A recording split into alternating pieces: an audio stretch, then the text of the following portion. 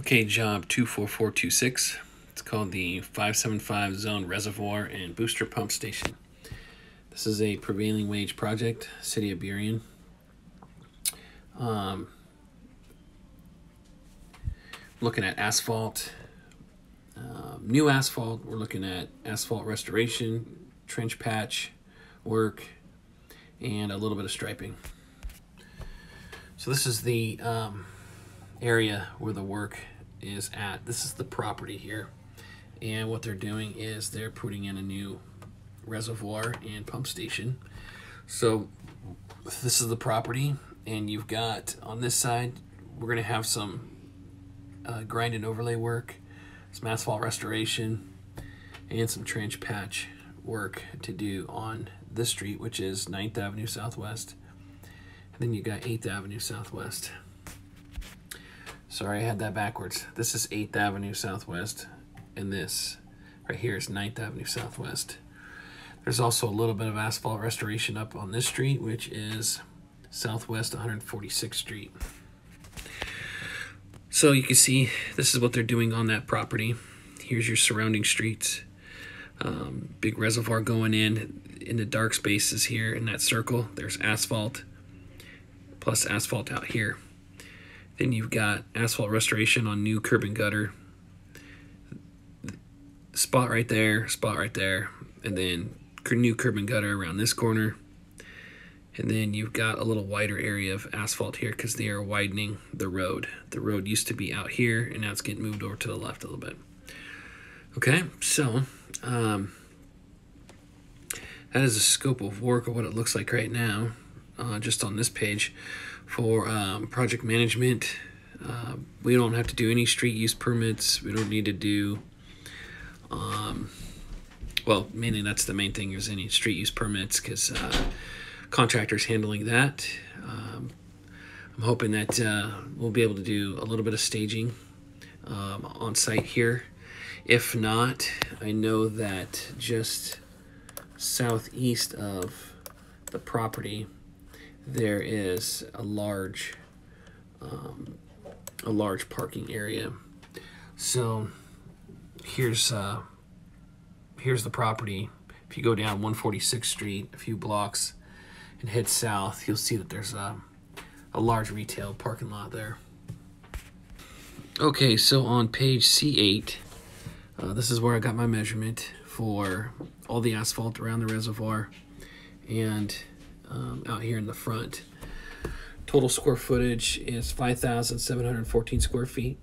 They need a four inch depth.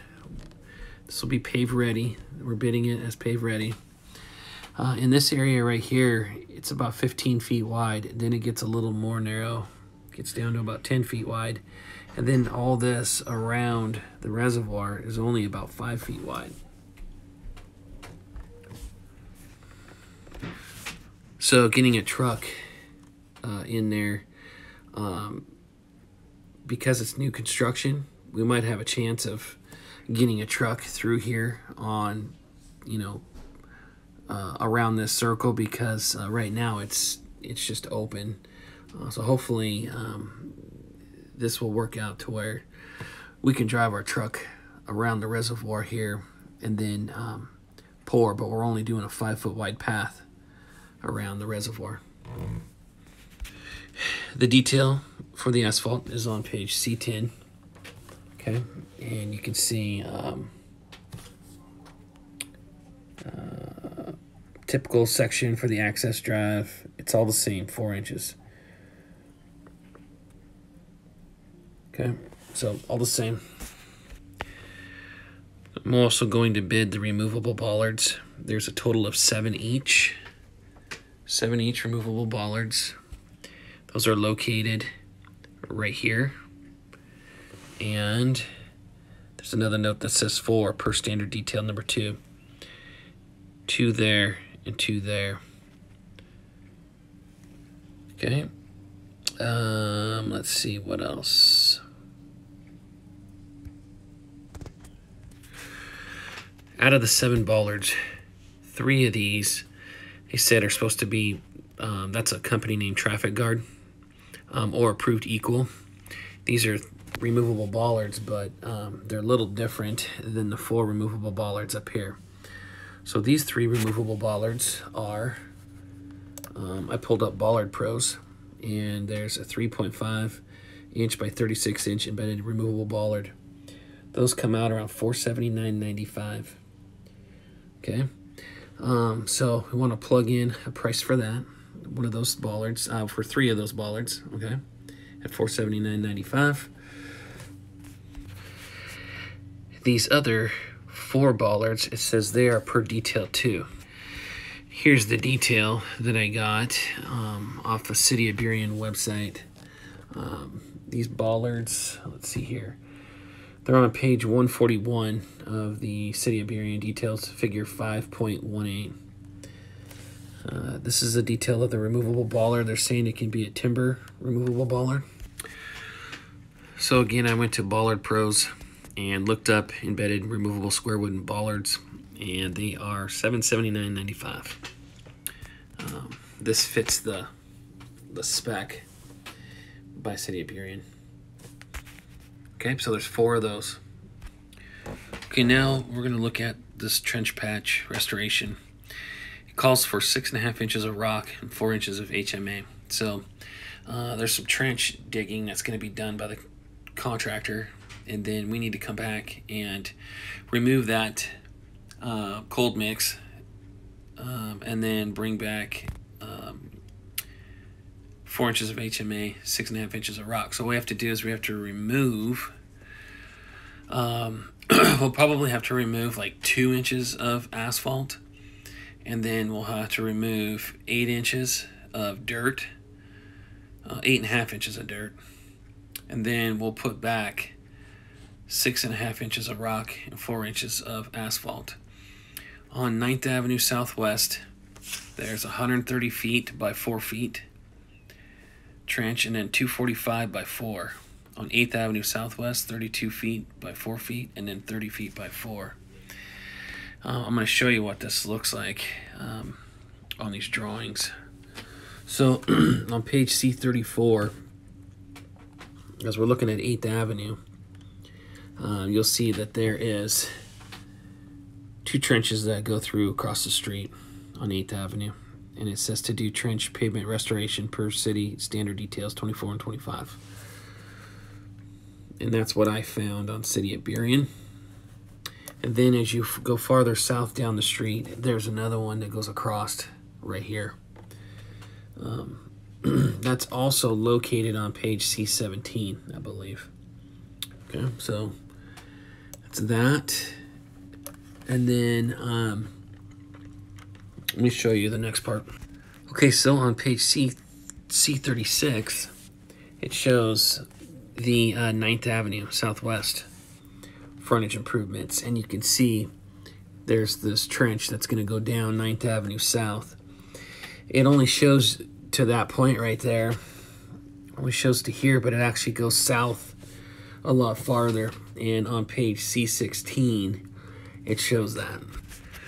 So here's the continuation. This is on the other page. It showed it stopping right about here, and then it continues down 9th Avenue, and then goes up here and ties in. So you can see, um, there it is, the note, trench pavement restoration. Okay, so it's going to go all the way down that street. So I've got the total footage right here on there. So now um, let's also talk about the asphalt restoration along the side streets.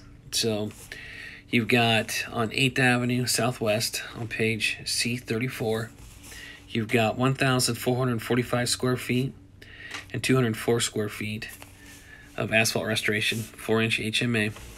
They provide the rock after putting in the curb and gutter and widening the road.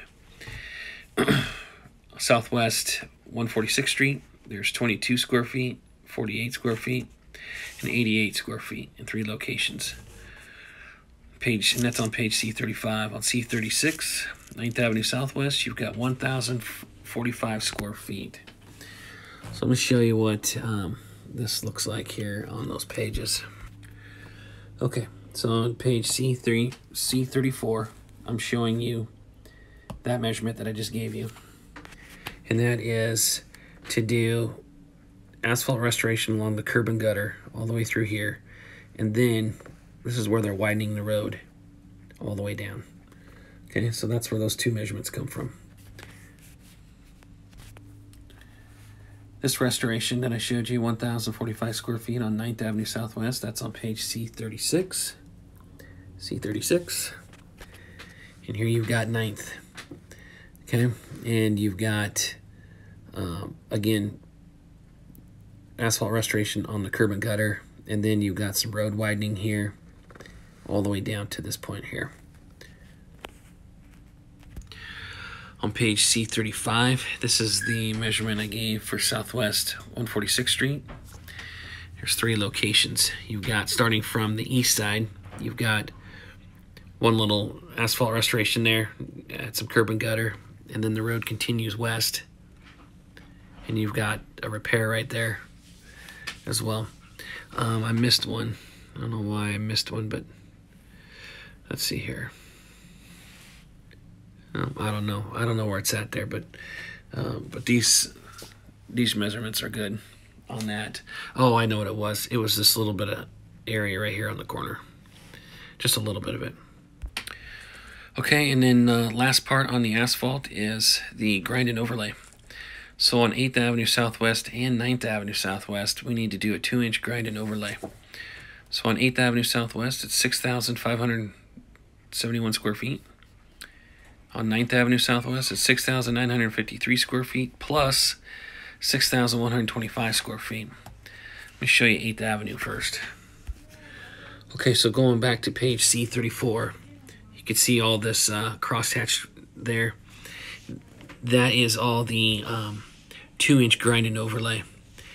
Um, it goes from the edge of the property there all the way up to Southwest 146th Street. And you can see on the legends it says asphalt and then also two inch grind and asphalt overlay.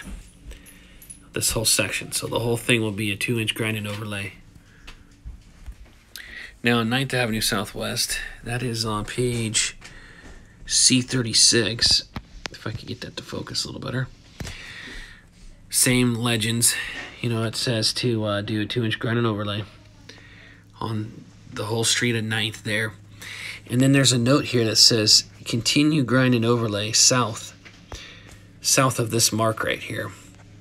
Um, and it says, um, oh, it just says south of there, 10 feet south of where the uh, where that trench is. And I showed you that trench here just a little bit ago. So on page C16, going back to that, where I showed the um, the extended trench work going down the road all the way to the end on 9th Avenue Southwest. This is all going to be grinded overlay. So that's why I had to add on that second portion there. Okay, um, so that's it for um, all the asphalt work. And that is it for the removable bollards. Now we've got striping that we need to put back on 8th Avenue Southwest and 9th Avenue Southwest. Currently, right now, um, you only have fog line on 9th Avenue, but on 8th, you've got double yellow center line and you've got fog line. So here's the total footage 820 feet of 4 inch fog line. We need to add glass bead. 210 feet of double yellow. We had to add glass bead. And then there's 16 inch plastic stop bars at the end of 8th and 9th. It's a total of 34 feet. So real quick, I'm going to take you back to where the, um, the scope of work is here. Actually, it's right here. And I'm going to drop you down street view so you can see what is on. what's on each street. So right now I dropped you down onto 8th Avenue Southwest from this intersection. And that's what it looks like right now. It's uh, double yellow, but doesn't have any, um, actually doesn't have any fog line. Hold on. Okay, now I know why I was showing you the wrong street. So here's the property looking on, this is Southwest 146, looking at the property. This is 8th Avenue Southwest right here. And as you can see, there's double yellow and there is fog line on both sides. I don't see any buttons. No buttons. Okay, so here's the property. Here's 146 looking from the north, and there's 9th. Dropping down onto 9th so you can see what it looks like on 9th Street. So there's the property to the left, and then all you have is fog line going down the road. Okay. As far as labor goes on this, mobilizations, I would say a lot of this is going to be broken up into sections. This asphalt would probably be one day to do all the stuff on site.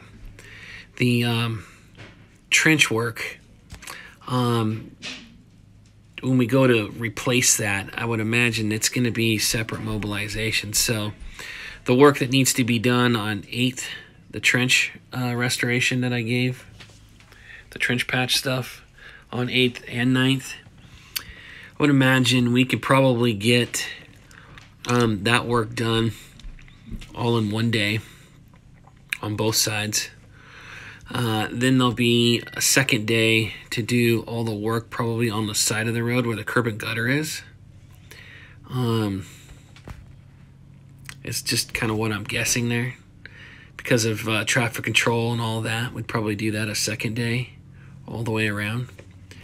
So you've got one day on site here, day two to do the trench patch work, going across the road here, down here on 8th, and then that long trench work down 9th. Okay, so that's three total days there. Then you've got the grind and overlay. Um, so this would probably be one day grind and overlay. This would probably be another day grind and overlay. And I think that would do it for all the asphalt work.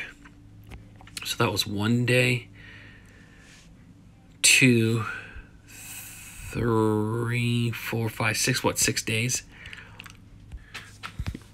Backing myself up here. So day one, all the on-site asphalt. Day two, the trench work on this side and on this side. Day three would be the restoration along this, probably that piece maybe. Day four would be the other section on the other side. Um, I might be adding one more day, I don't know. Okay, and then, so day five would be grind and overlay. Day six would be grind and overlay.